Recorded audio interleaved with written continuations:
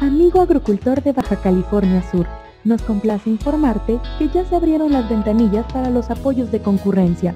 Te recomendamos acercarte a tu ventanilla más cercana para la recepción de proyectos productivos, Cepada y Zagarpa. Forma parte de la mecanización inteligente